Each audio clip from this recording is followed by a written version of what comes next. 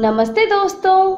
स्वागत है आप सभी का नेहा की पाकशाला में। और आज मैं आपको घर पर आमचूर पाउडर बनाने का एक बहुत ही बढ़िया तरीका बताने वाली हूँ, जो कि बहुत ही सिंपल है और बहुत ही आसानी से आप उसको फॉलो भी कर सकते हैं।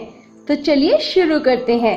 यहाँ पर मैंने तीन किलो कच्चे आम लिए हैं आमचूर पाउडर बनाने के लिए, और इन कच्चे आमों को मैंने अच्छे से धो लिया है साफ़ पानी से और फिर सूखे कपड़े से बढ़िया से पोंछ लिया है। और ये मैं आपको एक कच्चा आम दिखा रही हूँ। आप देख सकते हैं कि इसी तरीके का कच्चा आम आपको लेना है। ये एकदम टाइट है, बिल्कुल भी लूज नहीं है। तो टाइट टाइट बढ़िया कच्चा आम आपको लेना है आमचूर पाउडर बनाने के लिए। तो अभी हमें इनको छील लेना है। तो आम के ऊपर का ये जो पार्ट होता है, इसको हम हटा देंगे पहले और उसके बाद छिलनी से हम आम को अच्छे से छील लेंगे।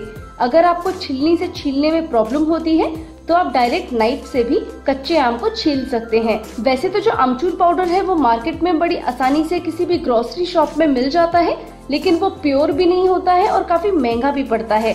और हम कच्चे आम से अमचूर पाउडर बड़ी आसानी से बना करके तैयार कर सकते हैं घर पे। तो क्यों ना अमचूर पाउडर घर पे बनाया जाए, जो कि एकदम प्योर भी होगा और हमें महँगा भी नहीं पड़ेगा। पूरे आम हमने छील लिए हैं तो अभी हमें एक बड़ी परात या थाली ले लेनी है और कद्दूकस के जो मोटे वाले छेद होते हैं ना, उस तरफ़ से कच्चे आम को कद्दूकस कर लेना है।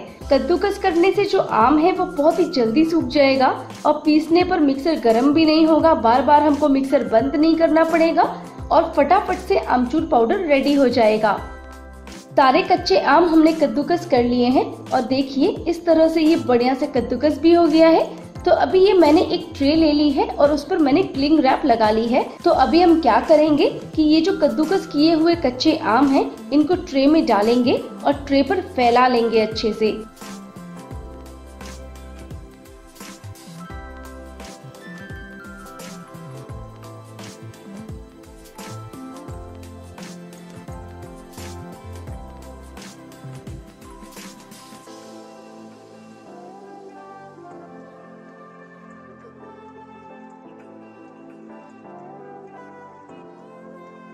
एक ट्रे पर हमने कद्दूकस किए हुए कच्चे आम को अच्छे से फैला लिया है और जो बाकी का बचा हुआ कच्चा आम है ना, उसको हम दूसरी ट्रे पर अच्छे से फैला लेते हैं और इस ट्रे पर भी हमने क्लिंग रैप लगाई हुई है।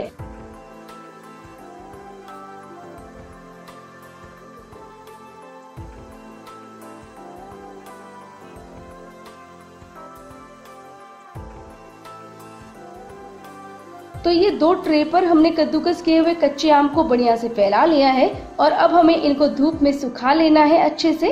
तो दो से तीन दिन में ही ये जो कद्दूकस किए हुए आम है, ये अच्छे से सूख जाएँगे। तो अभी देखिए, पूरा कच्चा आम अच्छे से सूख गया है। आप देख सकते हैं कि सूखने पर ये कितना कम रह गया है। पहले ये कितना ज़्यादा लग रहा था और अभी आप देखिए, ये बहुत ही इजीली टूट रहा है मतलब कि ये अच्छे से सूख चुका है। तो अभी एक मिक्सर जार ले लेंगे और थोड़ा थोड़ा करके हमें ये सूखा हुआ कच्चा आम पीस लेना है। अभी देखिए, ये मोटा मोटा पीस गया है और काफ़ी कम भी रह गया है। तो जो बाकी का बचा हुआ सूखा आम है, उसको भी हम मिक्सर जार में डाल करके पीस लेते हैं।